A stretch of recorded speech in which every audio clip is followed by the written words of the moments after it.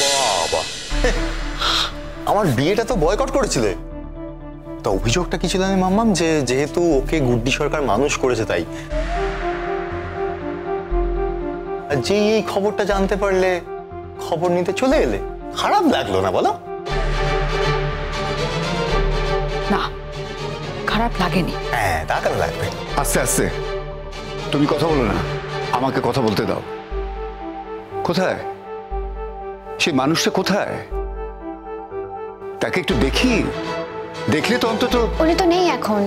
উনি মাম্মামের কাছে আছেন কি? মাম্মামের কাছে আছে? দেখল তো? মিললো? মাম্মামের কাছে আছে। মামার কাছে কেন থাকবে? কেন থাকবে? মামামের কাছে থাকতে এবার যাবে কেন? মানুষের সঙ্গে অনুজের চেহারার মিল আছে আর তাকে গুটির কাছে পাঠিয়ে দেওয়া হলো। আপনারা বুঝতে পারছেন? নিজেরাই কিন্তু নিজেদের ফাঁদে পা দিচ্ছেন। এর মধ্যে ফাঁদের কি আছে? আরে ওরকম কোনো ব্যাপার নয়। ওরা গেছিল সঙ্গে নিয়ে গেছিল। না না একজন চেনা মানুষকে দেখলে তো যে কারুর এটা মনে হতে পারে। গুড্ডিরও যে মনে হবে সেটাতে তো আশ্চর্য হওয়ার কিছু নেই, তাই না? গুড্ডি নিজে একজন পুলিশ অফিসার ও জিজ্ঞাসাবাদ করছে, জানতে চাইছে যে যে এসেছে, সে ছদ্মবেশী না কি ব্যাপার, তাই জন্য, সেই জন্য ওর কাছে আছে, নানান রকম প্রশ্নও করছে, এক্ষুনি চলে আসবে। এটা নিয়ে এত হইচই করার তো কিছু নেই। হইচই করার যথেষ্ট কারণ আছে বলেই করছি। আপনারা একটা- একটা বানিয়ে বানিয়ে গল্প বলে দেবেন আমাকে, সেটা বিশ্বাস করতে হবে, তা তো হবে না না? চৈতালি, তোমায় কি গল্প বানিয়ে বানিয়ে বলব বলো তো, কি গল্প বলব? তুমি তোমার নিজের নাতির বিয়েতে এলে না, এত বড় অপরাধ তুমি করলে, তারপরেও তুমি আর দাদা আমরা তো ভেবেছিলাম অন্তত আপনি আসবেন। আপনিও যে আমাদের এইভাবে বয়কট করবেন, সেটা তো বুঝতে পারিনি। না না বয়কট করিনি। অনেক ক্ষেত্রেই আমার হাত পা বাঁধা থাকে, সেটা তো আপনারা বুঝতেই পারেন। এক্ষেত্রেও কিন্তু আমার হাত পা বাঁধা ছিল। তাই আমি এসে উঠতে পারিনি। তবে আমি মনে করি আমার দাদু ভাইয়ের সঙ্গে আমার সম্পর্কের এতটুকু এদিক ওদিক হবে না। এই তো। আমি আপনাকে বলেছিলাম না আপনি পারবেন? দেখুন আপনি কি সুন্দর গাড়ি চালাতে পারছেন। আমি জানতাম আমি জানতাম আপনি আপনি পারবেন গাড়ি চালাতে। কি জানেন তো সেই মানুষটাও না খুব ভালো গাড়ি চালাতে পারতো। সেই মানুষটা হ্যাঁ? না আমার খুব চেনা একজন মানুষ। হ্যাঁ হ্যাঁ বুঝতে পেরেছি। যে মানুষটার ছায়া নিয়ে আমি চলছি সেই মানুষটার কথাই আপনি বলছেন। বালাই ষাট আপনি কেন কারোর ছায়া হতে যাবেন? এইটুকু বোঝার মতো বুদ্ধি আমার আছে। আমি যথেষ্ট ভালো করে বুঝতে পারছি যে এই ছায়াটা ক্রমশ বড় হতে হতে হতে আমাকে গ্রাস করছে। আপনি কিছু মনে করবেন না। আমি জানি আপনার খারাপ লাগছে। সবাই আপনার সঙ্গে কথা বলতে গিয়ে আপনাকে অন্য এক মানুষ ভেবে ফেলছে।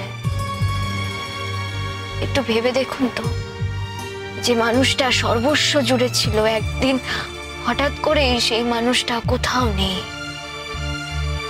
সেই নেইটাকে সামাল দেওয়া কিন্তু বড়ই কঠিন সোজা নয়। আবার বহু বছর পর এতগুলো বছর পর সেই মানুষটাই সকলের সামনে এসে দাঁড়িয়েছে। কিন্তু আমি তো সেই লোকটা নই। হ্যাঁ হয়তো আপনি হয়তো আপনি সেই লোকটা নন। হয়তো আমরাই আমাদের মনে হওয়ারও তো কোনো দোষ নেই। আমি সেই জন্যই আরও আরও বেশি করে জানতে চাই। আপনি কি?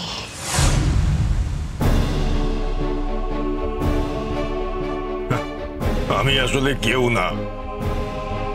আমি আসলে সে যার কোনো নাম নেই যার অতীত নেই বর্তমান নেই ভবিষ্যৎ নেই কিচ্ছু নেই। আমি সেই লোকটা। ভাবে বলবেন না।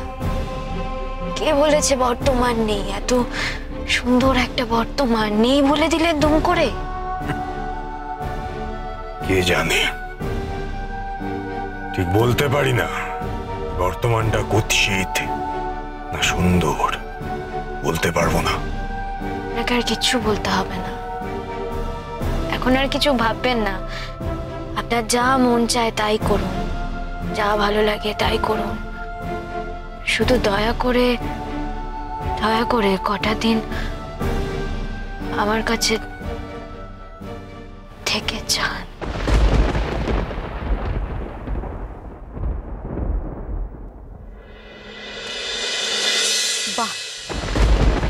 অদ্ভুত কথা বলছো তো তুমি? আমার মেয়েটা সারাটা জীবন ধরে এত কষ্ট পেল। আর তুমি এই কথাগুলো বলছো এখন? আমার মেয়ে তো এই বিয়েতে আসার কোনো অধিকার ছিল না। তাহলে আমরা কি করে আসতাম? বলো। আমরা তো নিজের বাবা মা নাকি? সৎ বাবা মা তো নই। আচ্ছা বিয়েটা তো মিটে গেছে। এখন এসব কথা সব কথা বলে তো কোনো লাভ নেই। লাভ আছে পিনাকিদা। লাভ আছে বলেই তো বলছি আমি কথাগুলো। দেখুন একটা কথা আমার কাছে খুব স্পষ্ট। ঘুট্টি সরকারের চালে অনুজের বডিটা পুরো লোপাট করে দেওয়া হয়েছিল। আর ওকে এমন করে স্লো পয়জন করা হয়েছে যে ওর স্মৃতিটাই পুরো হারিয়ে ফেলেছে। না না না, আমি তো ছাড়বো না। আমি কিছুতেই ছাড়বো না। আমি আমি শেষ দেখে ছাড়বো। আমি আমি দরকার হলে কোর্ট পর্যন্ত যাব।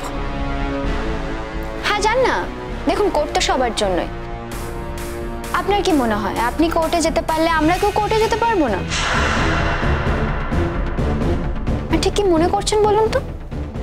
আপনি যে এখানে দাঁড়িয়ে দাঁড়িয়ে আমার মাম্মামের সম্বন্ধে এই খারাপ কথাগুলো বলছেন সেটাকে আমি খুব ভালোভাবে নিচ্ছি। এক সেকেন্ড রেশমি। আচ্ছা উত্তেজিত হো না।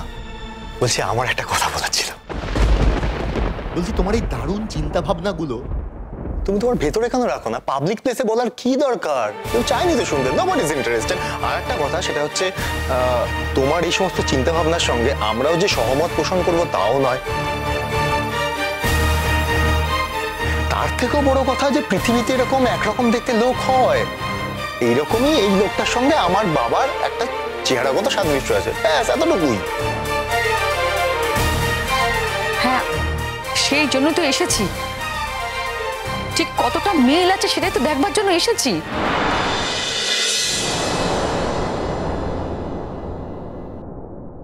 ওই তো মামুন চলে এসেছে।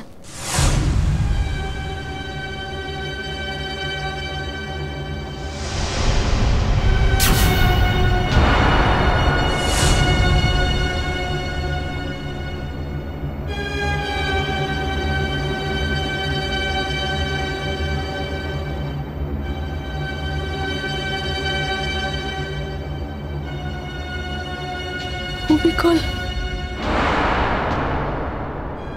কিরে? কিরে গুড্ডি, তুই আবার? তোর কি স্বভাব কোনোদিনও বদলাবে না রে? আমার মেয়েটার জীবনটাকে একটু নষ্ট করে তো দিলি। তার যখন তুই নিজে বিপদে পড়েছিলি, তখন তুই অনুজকে সরিয়ে দিয়েছিলি, তাই না? আর এখন যখন সবকিছু সবাই ভুলে যেতে বসেছে সব চুকে বুকে গেছে যেই অনুজ ফিরে এসেছে সঙ্গে সঙ্গে তুই আবার শুরু করেছিস। ছি ছি ছি ছি। ভদ্রভাবে কথা বলুন। একজন ভদ্র মহিলার সঙ্গে ঠিক কীভাবে কথা বলতে হয় সেটা যদি আপনার না জানা থাকে আগে জেনে আসুন। তারপরে কথা বলুন। না হলে ভদ্র সমাজে কথা বলার কোনো অধিকার আপনার নেই। চুপ করো। একদম চুপ। এত বড় সাহস তোমার তুমি আমার সঙ্গে ভাবে কথা বলছো? আপনারা আপনারা এই বউ নিয়ে এসেছেন? তো দেখছি একবারে গুড্ডির থেকেও এক কাঠে ওপর দিয়ে যায়। সেটাই তো স্বাভাবিক। ওকে আমি মানুষ করেছি।